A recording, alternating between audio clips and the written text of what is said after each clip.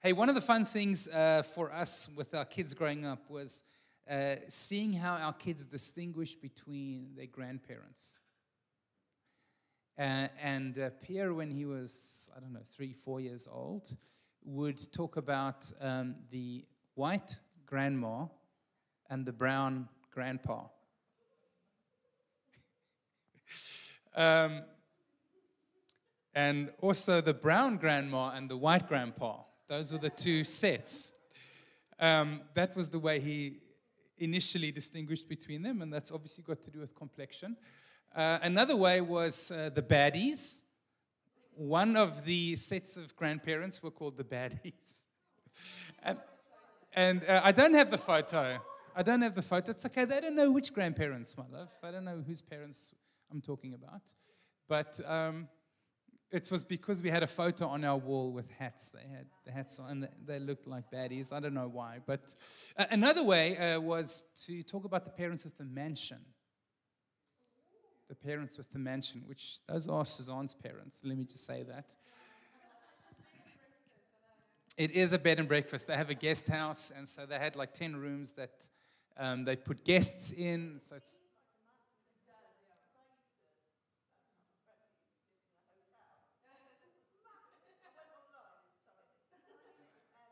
There you go. This is the mentality of a four year old, Jay. um, anyway, that the, the, the, the, thing with Son's parents is they have this guest house. They um, do have a B&B. And so often when we're on holiday, they would uh, have events on because they don't take holiday when we do. Uh, so we would be there, we would spend time with them, and there'd be a wedding at the guest house, or there'd be uh, someone's 50th birthday, and, and, things like that. And we would jump in and help. We'd help prepare food. Suzanne would often be behind the bar um, and serve soft, soft drinks only, as you do, um, because that's what you do for family, right? There's a family business, um, and some things you do for family. Even though you're on holiday, you go the extra mile, and um, and you jump in and you and you give more. You give more than you would have, because it's family. It's the family business. Um, and this is true, obviously, for blood family, but how much more for spiritual family? Um, that we go the extra mile for spiritual family, that we jump in to the family business. And this spiritual family of ours really does have a family business. Um, we all know that God is revealed through the Bible uh, and by Jesus as Father. And that you and I, we are not just minions, um, but we are sons and daughters of, of the Most High God. We are a part of His family, spiritual family. Many metaphors in the Bible for the church, for the people of God, but certainly one of those is family. God is Father, we are sons and daughters, and that this family, just like Suzanne's parents and her family has a family business, this family also has a family business. The spiritual family of God is in the business of being in relationship with people of, of a father who wants to find and be in relationship with lost sons and daughters.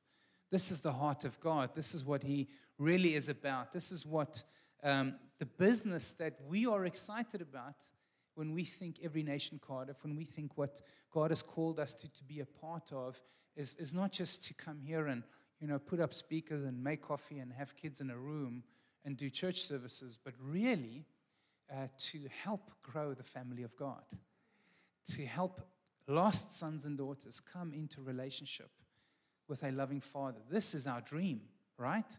Every Nation Cardiff, this is, this is our heartbeat, is, is not just to do stuff and have programs, but really to see more people experience the love of God, more people come into relationship with Him. Um, and this family business um, of God needs to be funded somehow. Funding the family business is what I am going to talk about today. There's a long introduction to butter you guys up because, friends, my conviction, my guys, my, my absolute persuasion is that God loves the local church and that God uses the local church, that Jesus gave himself uh, for the local church that he gave his body, he gave, he, he, he gave himself for his church. And, and sometimes we hear people saying negative things about the church, and we've got to be very careful because Jesus loves his bride. There's another metaphor for the people of God, the church. Um, and the scripture says, Ephesians 3 talks about the manifold, the multifaceted wisdom of God that radiates and emanates from the church, that the gospel is being made known from the church, and that God loves to use his church, uh, his local church, all around Cardiff and us, every nation Cardiff, to make his good news and to make his gospel known to the world. Um, and that there's something powerful of us giving ourselves to the church and giving to the church. And so, what I'd like to do today is to talk about uh, funding the family business a little bit, uh, and, and, particularly um, as a point of reference for us as we start this journey.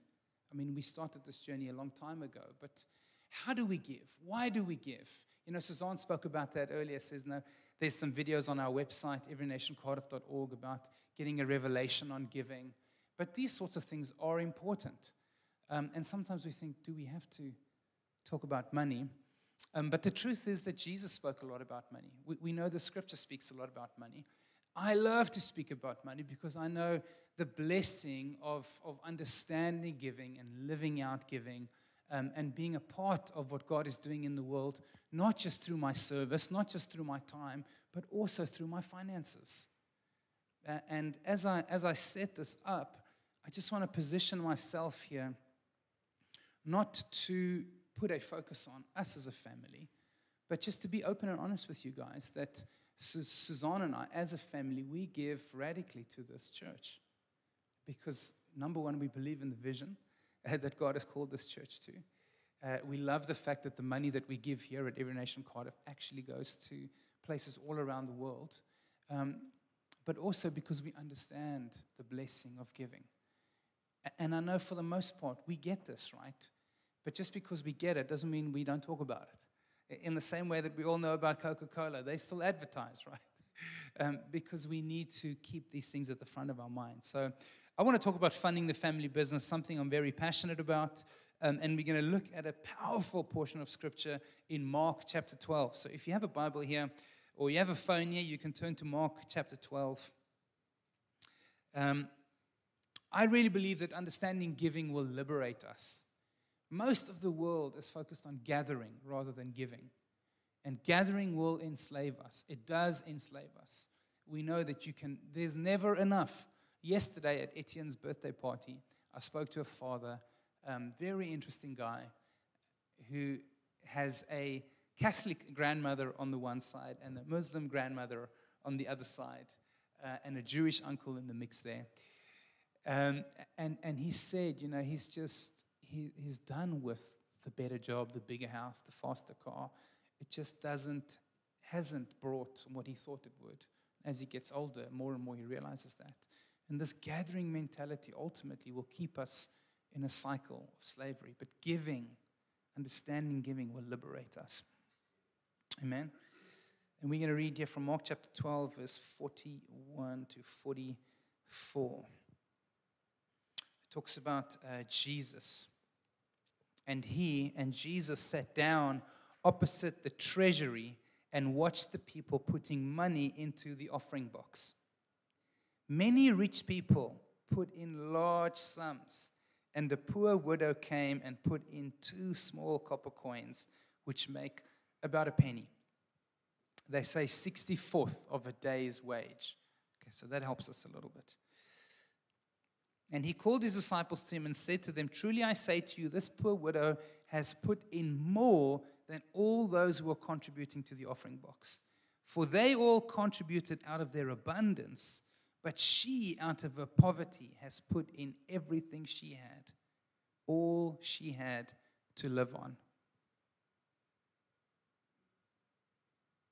And if you first read that, you're like, Jesus, are you not that great at maths? How can she put in more money uh, when she's clearly put in less money? But Jesus is talking about sacrifice here. He's talking about a cost. He's talking about taking a risk in terms of giving.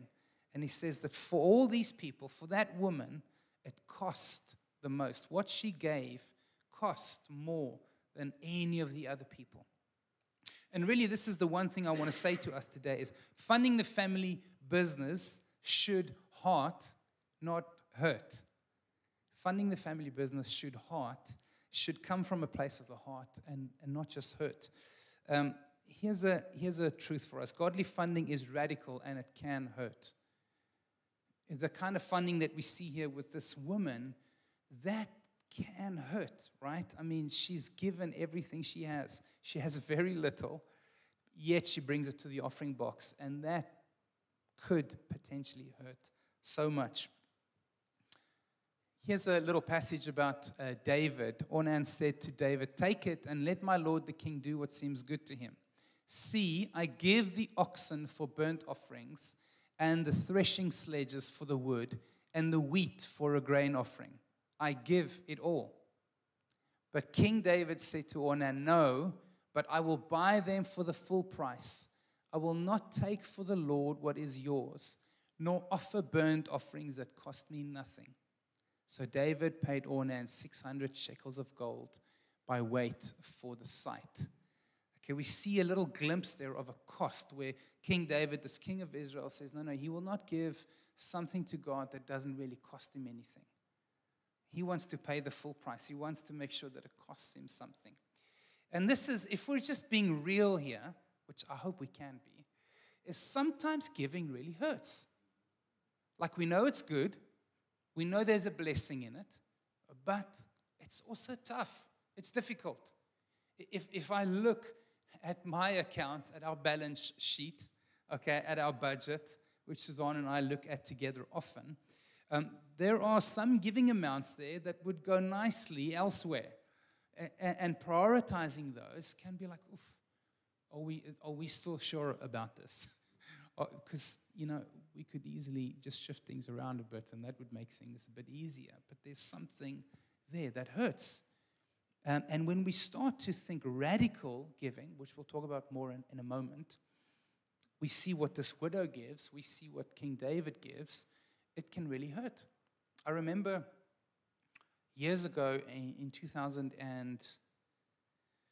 2016, I believe, when we had the Go conference in Florida, uh, I think it was 2016, we planned to go on a family holiday and take the kids to Disney because every nation, every three years, they have a world conference somewhere, and most recently in Cape Town. This time it was in Orlando. We thought, this is a great opportunity. I'm going to go anyway. Why don't we go as a family and we can take the kids for a couple of days to Disney? Sounds awesome. At the same time, we had friends of ours whose business went bust at that time. They had two young kids um, and they were really struggling. And so Suzanne and I were praying about whether or not we should try and help them. And uh, spoke to the kids about it, decided we'll talk to our kids about it and tell them, well, this is what we're thinking, this is what we're praying about. The reality is, if we do help these guys, we won't go to Orlando um, because we have to prioritize one thing over the other. And I'll never forget that our middle child Pierre said, Give them the money.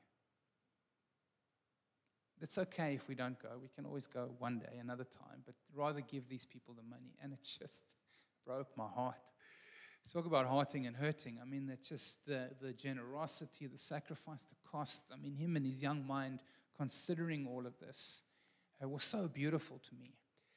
Um, and, and it ended up that um, for various reasons, they actually had another way to get out of their difficult situation. Those friends of ours, we ended up not giving them the money, um, and we ended up going to Disney, which is just the grace of God, certainly for our children, because what a great time they had. But the picture I'm trying to paint, paint for us here is when we think of the godly kind of giving, it can hurt. And if we look at God the Father, who gave his absolute best, right? He gave his son. Someone said that he bankrupted heaven by giving Jesus for us that we might be in relationship with him. This is what we're talking about. Um, is that the family business of God is to draw people close to Himself. And be, He gave His best. He gave something that cost Him. God the Father gave something that cost so much that we can only imagine that that must have hurt. So, godly funding is radical and it can hurt. But godly funding is right from the heart. It should really come from a place of the heart. Just like Pierre in that moment uh, wanted to give these guys something that would cost him so much, is because he, he was moved by compassion, right? He was moved by, and King David, he was moved. Uh, he loved God. He wanted to give God something from his heart, not just something that was easy. This, this widow in the story, I don't know, but I can only imagine that she somehow had an encounter with Jesus. The, the, Bible doesn't say, but I can only imagine that she heard him teaching or she saw him healing someone. Something in her heart was moved to be able to trust God to give as radically as she did. We, we can only assume. But we know that God the Father gave his best because he loved us. It's from his heart. Scripture says, John 3:16, one of the most quoted, one of the most well-known, God so loved the world that he gave his only son that whoever ever believes in him should not perish but have eternal life. God's greatest gift that was so radical and probably hurt was from a place of love because of his heart, right? Right from the heart. And so we've got to get this that, that godly funding funding the family business, it, yes, it can hurt, but it should really heart. It should come from the heart. And that radical sacrifice, the cost of giving, is, is okay when it comes from our hearts. We, we're somehow empowered to do it. If we will allow our hearts to be shaped, if we will open up our hearts. If we think about this, do you remember what God has given you? Do you remember how He has saved you and changed your life? Do you remember how He has impacted your relationships, maybe your family? What He has given us is so much, right? And do we want others to experience that as well? Because when we allow our hearts to be shaped like that and we want others to experience the same as what we've experienced, then that godly funding comes from a place of our hearts. So I want to get real practical here, and this for us here at Every Nation Cardiff really are principles that I hope that we can give by, not just now, but for the next hundred years. And this is something that is so personal to me, but it's such a strong conviction. When we think, how do we give? What are some of the principles of giving that I believe are godly, I believe are biblical, and I believe are practical to help us. Uh, number one, we give out of revelation. Like I said, giving, godly funding is from the heart, it's from a place of having experienced God's kindness. And uh, revelation is just a fancy word for understanding. We understand why we give. If you are a giving person right now and you don't know why, um, then you have our permission to stop Okay? Stop giving until you understand why. What is the point of giving? Where does it come from? What is the heart of giving? It should be from a place of revelation. Um, I'm going to read just a couple of verses from the letters of Paul to the Corinthian church because he talks a lot about giving with them. This is in 2 Corinthians 9. and Paul says the point is this Whoever sows sparingly will also reap sparingly. Whoever sows bountifully will also reap bountifully. Each one must give as he has decided in his heart, not reluctantly or under compulsion. Say not under compulsion. For God loves a cheerful, a joyful giver. God is able to make all grace abound to you, so that having all sufficiency in all things at all times you may abound in every good work. I mean, what a sentence. He who supplies seed to the sower and bread for food will supply and multiply your seed for sowing and increase the harvest of your righteousness. The first revelation that we must have about giving is that God is the great giver. We don't give so that we can receive. We give because we have received. God has supplied the seed for sowing. This is such an important revelation for us to have. And so often, you know, you see all the weird sort of teachings and stuff, and we have access to it all the time these days on YouTube. You can watch anyone preach anything. And, and so often, this thing comes out of if you want to be blessed, then give. If you want to receive, then give. And so there's a motivation in our giving to receive. And it's completely backwards. It's getting the cart before the horse. We give as a response because God has given us everything. He has supplied all that we need. He supplied for our needs abundantly. The scripture says that we have been blessed with every spiritual blessing in heavenly places in Christ Jesus. And so this is for me uh, almost a non-negotiable in our giving is our giving is a response. I have received and so I give. This is the same thing as in, in the family business, right? When when I help Suzanne's dad prepare food for an event or Suzanne helps behind the bar, it's not so that they can be a part of the family or we can be a part of the family. It's because we are a part of the family that we give and we help and we serve. And in the same way, our giving is always from a place of having received. A second revelation, there's so many that we must have about giving, but I'll just talk about these two very briefly, is when we give, it is the gift that keeps on giving. Okay? We don't give so that we receive, but when we give, we do receive as well. It's an incredible thing. It's, for instance, I, we give our kids pocket money. Every week they get money into their rooster card. Okay? And, that's the money that we, they ask us for something. I said, Well, you've got money in your rooster card, right? Do you? then go for it. Spend it. You know, that's yours to spend. Now, they get that money irrespective. They don't have to do chores to get that money. Now, there are different systems. I know people do it differently. No condemnation if your kids have to do chores, okay, for their pocket money. But that's what they get as a standard every week. Now, if Leah Jean were to take some of the money that she gets every week and she were to invest that into something that would build little dividends and in the end give more money, a greater return than what she put in, then she would get from two sources, if that makes sense. She gets the money that we give her anyway, but that money that she gives or invests keeps on giving.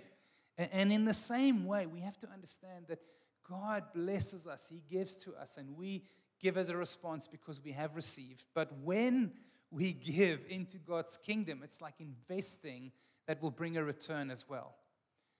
And that's why the scripture says, whoever sows sparingly reaps sparingly, gives bountifully, because the principle of sowing and reaping is a godly principle put into the earth. And there is something about, about putting, our, putting our money where our mouths are that just releases even a greater harvest than what we've experienced already. So that's powerful. Talk about giving out of revelation, giving from understanding. The first thing that we must know, and that I believe this widow knew when she gave into the offering box, is that we give from a place of having received. We don't give to receive. But when we give, we also receive on that giving. The second thing I want to say is that we do give radically. Okay, the principles, we have three principles. The first one is revelation, the second one is radically, and we give radically by God's grace. Paul wrote this uh, uh, to the Corinthians as well, and I love this. We want you to know, brothers, about the grace, say grace, grace of God that has been given among the churches of Macedonia.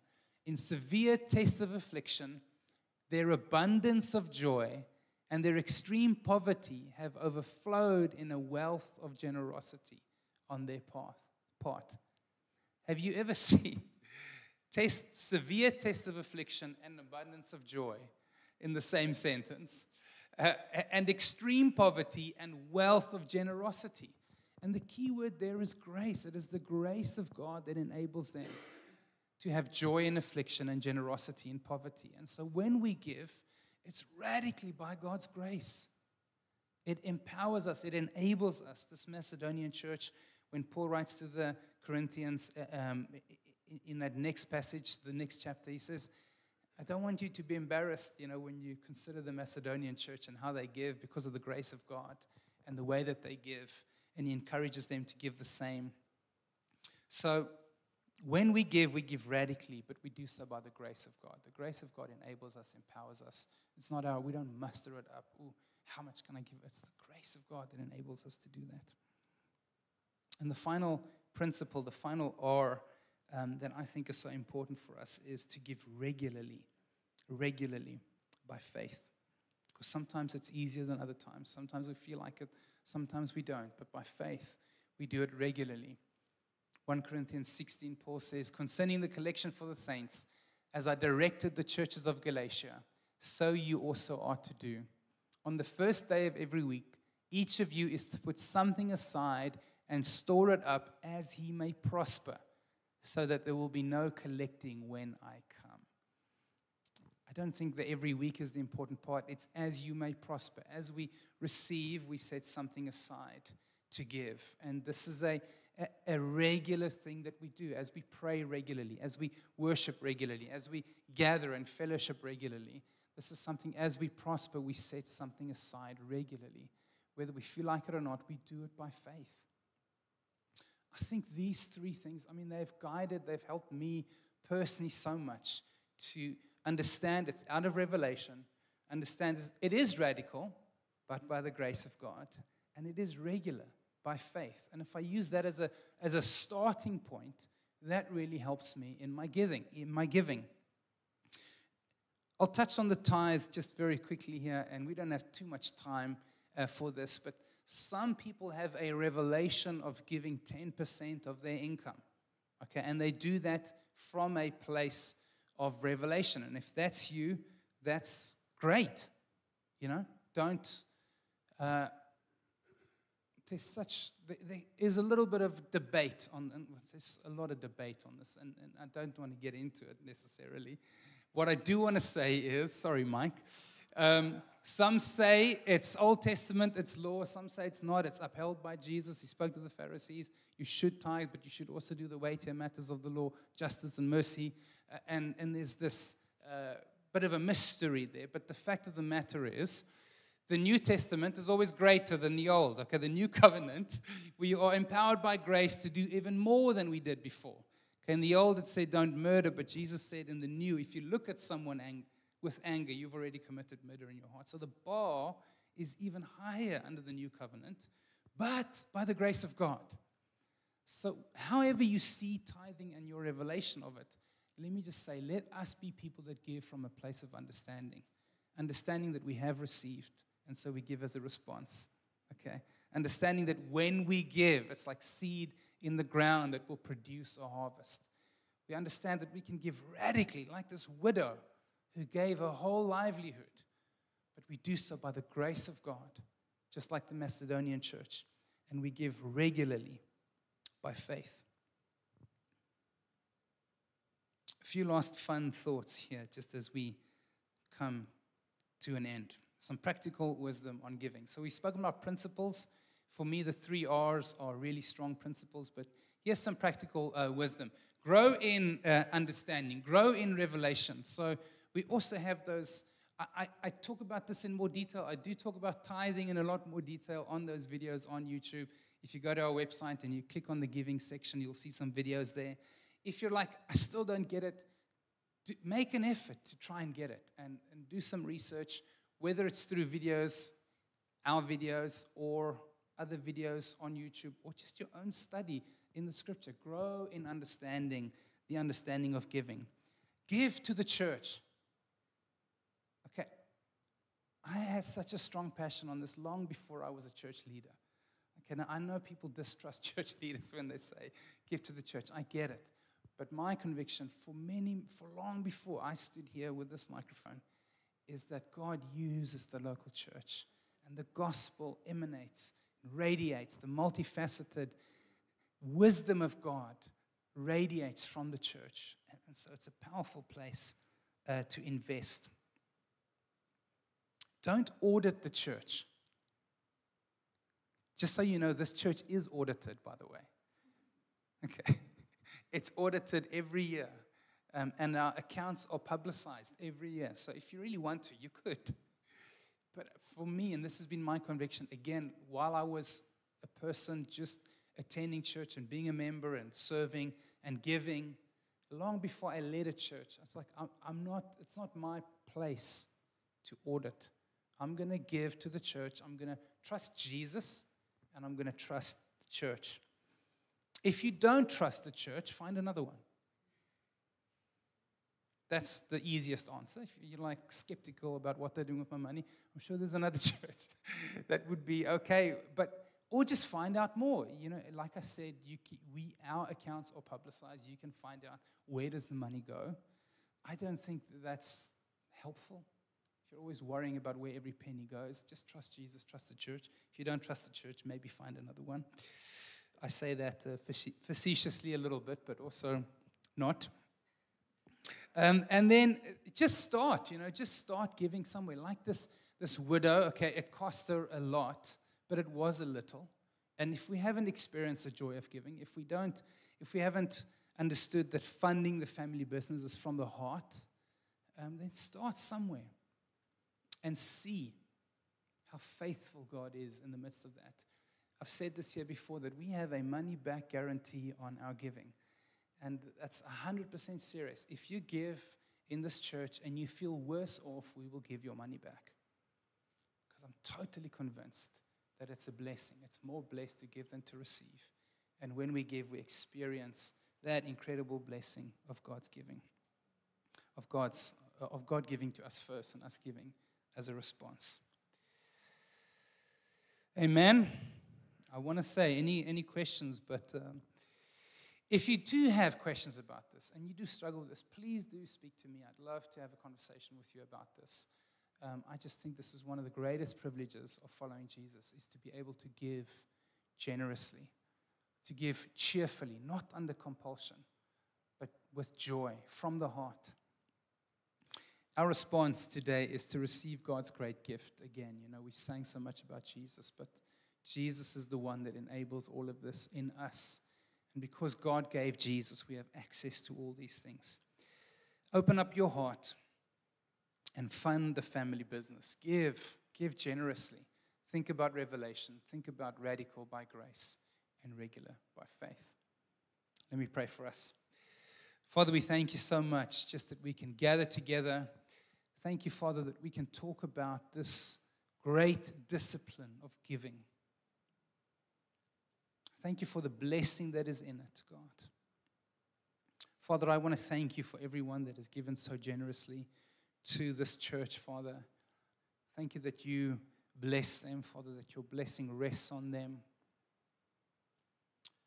Father, I thank you that you challenge us even um, as we consider giving radically and being a part of your great mission in the earth. Will you lead us? Will you speak to us, Holy Spirit?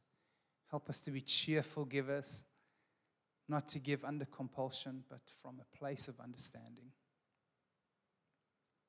Father, we also pray for every need represented in this room. Father, especially, especially physical needs. When we think of the cost of living crisis, Father, we think of bills to pay, we think of heating in the wintertime, we think of all these things that are so expensive. God, will you bring radical breakthrough in your provision towards us. We trust you for it. We acknowledge that you are the great provider, that you are faithful in every sense, in every way, you are faithful towards us. And we bless you, God, for what you've done in the past and what you will do in the future. And God, I pray for a financial blessing, Father, for a, a radical provision for each of us by your Spirit. In Jesus' name. Father, we pray uh, for this campus. Lord, we pray for the students. We pray for the uh, faculty, Father, for the academics. Father, we pray your blessing upon them. Father, we pray that their hearts will be open to you, to your good news, especially at this Christmas time. Father, may you speak and may you whisper into hearts here on, on this ground, we pray. And use us as a people, as a church, uh, to help connect them with a loving Father. In Jesus' name we pray.